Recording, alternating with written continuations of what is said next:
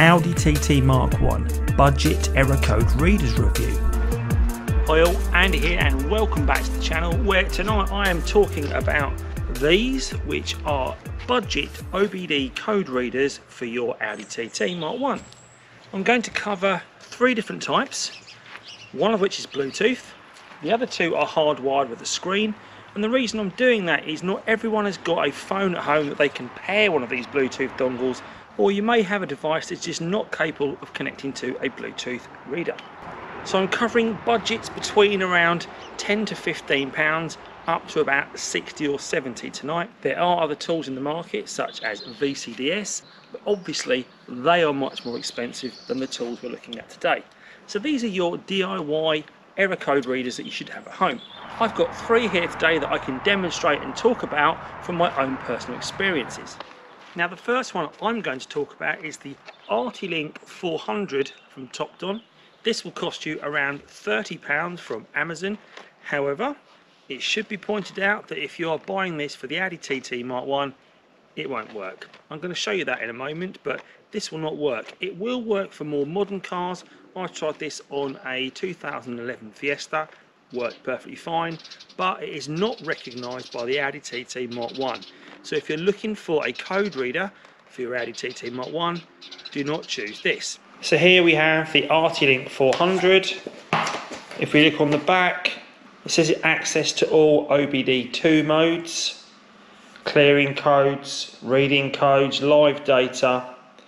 Now I know for the Audi TT Mark 1 this isn't possible as I've tried says it's compatible with most 1996 onwards vehicles here, but I know from experience doesn't work with the Audi TT Mark 1. So if we remove the back of the packet, let's see what we've got. So the OBD2 port plugs into the car, and this small screen here is what you would see all of the details in the car.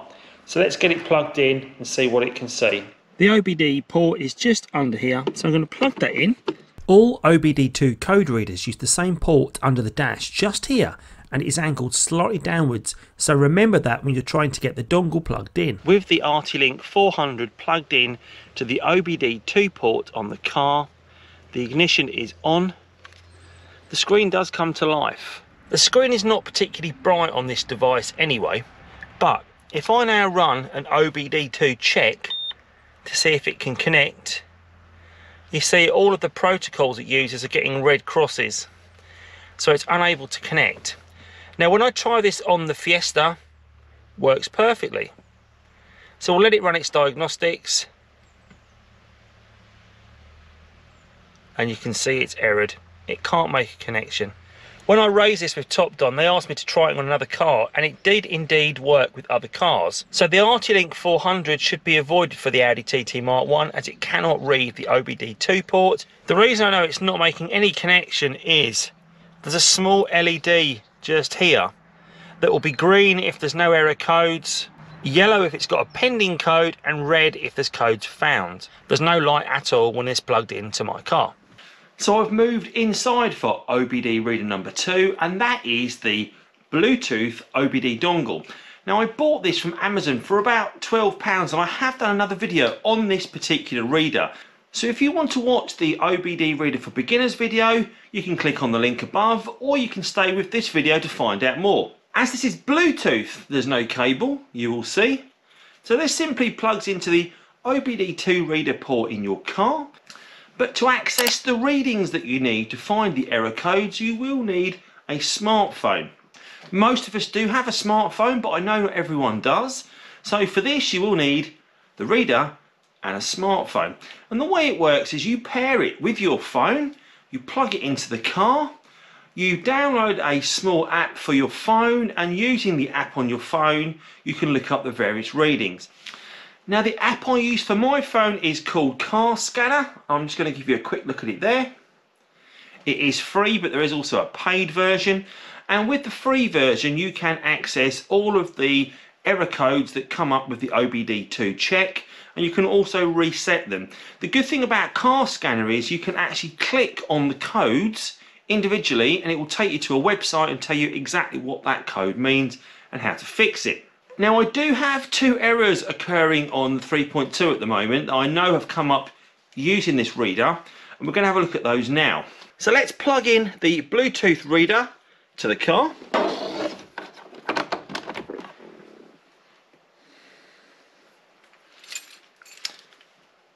And for now it will show as disconnected still. As you can see it still says disconnected. So I need to put some power to the car to actually get a reading. So I've turned the ignition on. I now click connect on the phone. And you will see it's connected. And we're all green. It also tells you the OBD2 type of connection. Now the important thing we need to look at is the diagnostic trouble codes. So if we click on that,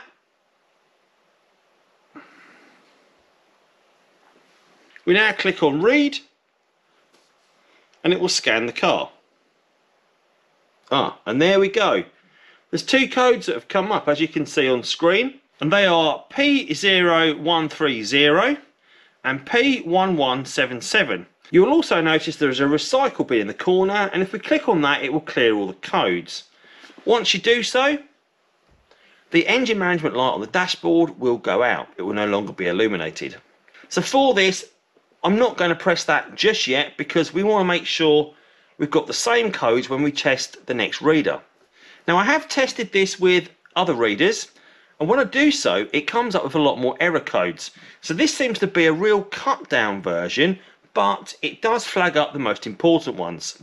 Now interestingly, when I first downloaded the car scanner app, it had more functionality. Now I've been using it for a few months, it's cut down to the very basic version. I don't have the full functionality. So I could pay for that and it's only about £5 a year. And for that, the all sensors section that you can see here, it will actually allow me with this reader to read my chains. So when we're talking about the timing chains on the 3.2, I have done another video on that, so if you want to watch that video, click on the link above. So that allowed me to see how much chain stretch I had. On this free version of software, with this reader, I can't now do that. The dongle itself, used with the right app, will read what you need. So to recap, this Bluetooth dongle for about £12 will get most of the error codes up you need on the screen and it will also allow you to click on them find out what they are and also delete the codes. So for £12 I think this is an essential part of your toolbox. This exact reader I am going to find on Amazon once again and I will leave a link to it in the video description. Now the last of the code scanners I'm going to talk about is the Artidiag 500S from Topdon. So if we open up let's see what we get. So there's the device itself. It's handheld with a built-in screen. It's got about, I'd say about a metre of cable to reach from the car to the OBD2 port. There's also a handy manual with some instructions on getting started and there's also a quick start guide. So let's get this connected to the car and see what it does. Now this is wired but it is portable and it's fully rechargeable. It also allows you to put it on the Wi-Fi so you can look up code as you can with the Bluetooth sensor. So this should be a good test for this system to see if it brings up the same error codes as the Bluetooth one. It's got a full colour screen and it's touch screen but it's also got buttons as well and you turn it on by this button on the top. So if we turn it on, comes to life and there we have it. Nice bright screen and we can see we've got diagnosis and we've also got the OBD2 section. So if we click on that, it's asking me to connect the device. So let's get that done now. And the good thing about this is it actually charges off your car battery. So you don't even need to plug it into the mains. But it does also have a port on the side for charging on the mains. A nice little handy feature you also have with this is it tells you your voltage output from your car battery. So you can see in the top there, it's telling me I'm getting around, well, 10.5 volts at the moment, which isn't great. But it's probably worth pointing out some of the other features that you can see on this screen, such as maintenance. So if you want to do some other checks on the car or some more features such as the ABS, bleeding of brakes, oil health, you can do all of this from this screen. So I would say this is a much better workshop tool than just a simple plug-in Bluetooth reader. So if we click on the OBD2 section, it's now connecting to the car. And this will go through all the various Bluetooth modes. So you'll find it will say failed, failed, failed until it finds the mode for your car and then say connected. There we have it. It's now connected to the car. It's telling me on screen that the management light is on. Well, we know that. We can see that on screen. And there are two error codes listed in the ECU. Now, this is quite an annoying feature on this. If you actually go back and then come back into the codes, it has to scan through all of the OBD2 codes once more. So once we have this connected to the OBD2 protocol, we can simply go back and we can click on diagnosis. If we put in here the car, so we've got an Audi, it's now going to scan the system for us. So we can now read the DTC. So there we have it. Now, interestingly, there seems to be a further code on here than there is on the Bluetooth one. And that's a code 1636, message from the airbag control module. Now that's because my car is detecting that because it's run out of battery recently. So if your car has run out of battery, that is a common code that appears. So if I clear these codes, that will also go as well. But the good news is we've also got the two codes that I know are affecting it from the Bluetooth scanner. So it's good to see there's some commonality between the codes this is reading and the Bluetooth one. I can click on the individual item and it will give me a breakdown of the problem and how to fix it. But the good thing about this is as well, I can also click on this read data stream. Now I can read by channel or I can read by list. Now the channel's the important one because if I was going to read my chain settings on this car, I would know I need to check codes 208 and 209. So if we click on read by channel, so the channel we know check the chains is 208. So if I type 208 in there and I hit OK, it will tell me the important number, which is this minus 3 degrees. So I know that the one side of my chain is at minus 3. So this little gadget for £70 will read your chains.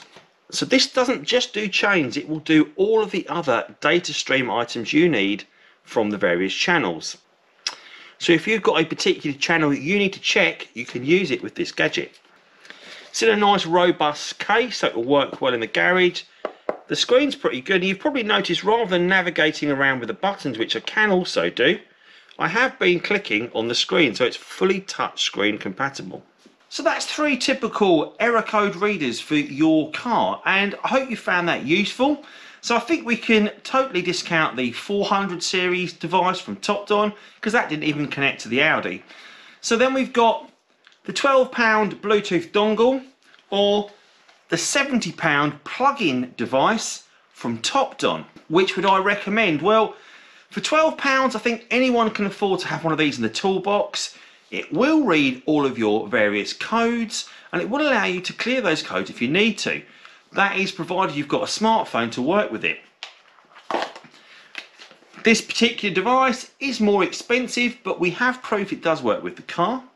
It also has a nice little screen so you don't need a smartphone and for £70 it's affordable and it will do so much more than just your Bluetooth reader.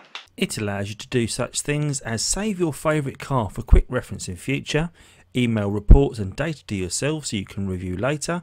This includes repair info, screen recordings or photos of the on-screen data. You can also reset a variety of service indicators such as oil lights, diagnose ABS problems and bleed brake lines and much much more. So I would say £12, definitely have one of these. You can have one in the glove box and forget about it. And if you're out somewhere and you've got a problem, you can look it up. This, I think, is a great tool for the workshop. It will allow you to do an awful lot more with the live readings. And it's just a little bit more robust you don't need a phone. So which would I go for? Well, if I'm going to be at home, I think I'm going to go for this Topdon because this is the one for me. And I'll keep this in the car for when I'm out and about at the roadside. You can never have too many OBD readers. Hopefully you found this video useful when you're looking for your own OBD2 reader. If you have enjoyed this video then please do give it a thumbs up and also think about subscribing to my channel where you will find a whole host of content on the Audi TT Mark 1. As always, thanks for watching and see you soon. Take care.